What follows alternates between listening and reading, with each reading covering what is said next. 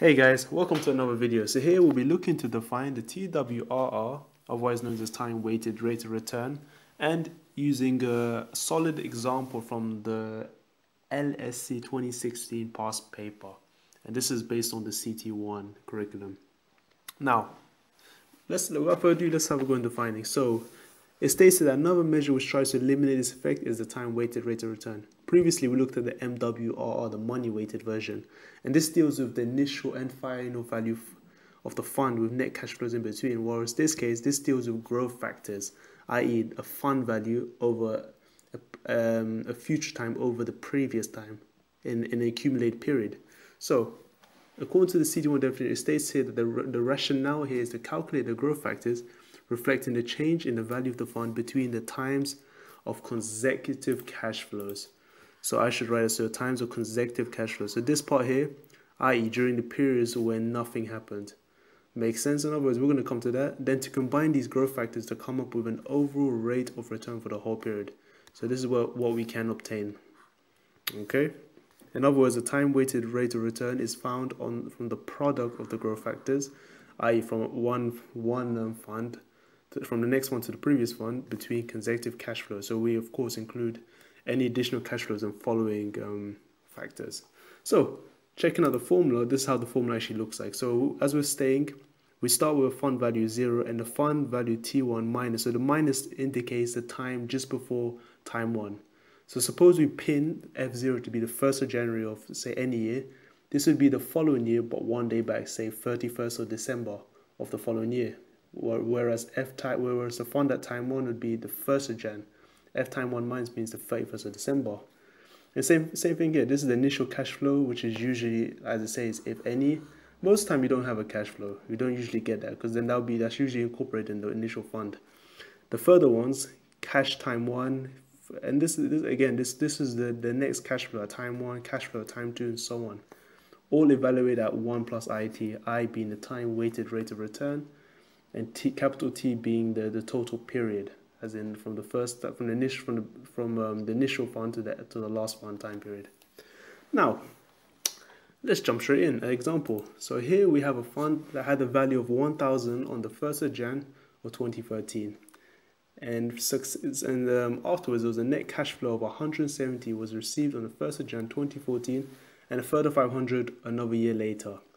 The value of the fund at the end of the year of the uh, from the 31st December 2013 was 1030 and, and on the following year at the same time was 1200 now here they want us to calculate the TWR I want to calculate that between the 1st of Jan 2013 to the 31st December 2015 so notice I added an extra year here. I just did this for the, for the case of um, understanding how cash flows run. Because we have a second cash flow we need a further point in time so here we decided to assume that the fund on the 1st of December was 17, 1,788. Okay, let's crack on the formula. So let me just pull out the formula from a slide I copied. There we go, paste. Now, all you want to do is pretty much identify the term. So using this formula, so this is the exact formula, the growth factors. Yeah, each term is a growth factor. Now, from the very beginning, let's start labeling. So we have a value for 1,000 on the 1st of Jan. So this is effectively times 0. So this is 1000. So we can say here the F0, I'll make it underneath, equals 1000. Next one, the net cash flow of 170 was received on the 1st of Jan. So one year later, in 2014, cash 1 was 170. And again, a further 500 a year later. So cash 2 equals 500. Now, what else do we have? Now, this is the important part. The value of the fund on the 31st of December 2020, so at the end of the first time, but one day back, so we call this F1 minus or T1 minus. This would reflect this cash.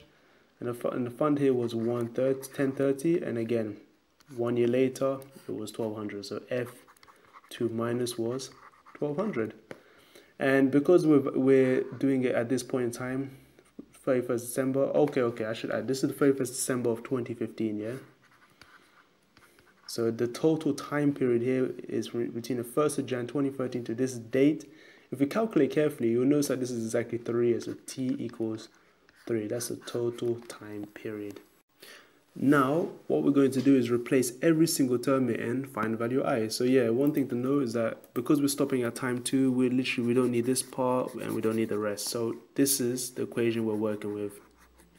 So therefore, let me put a line there. So therefore, we're going to have 1 plus i, t being power 3 would equal the fund value time 1 over the fund, and cash flow at time 0. So this is 1030 over 1000 because there's no cash flow there's no um, initial cash times and the second would be time 2 so 1200 over the first year cash flows is 1030 plus the first cash flow 170 and oops oops you know I made a mistake here actually.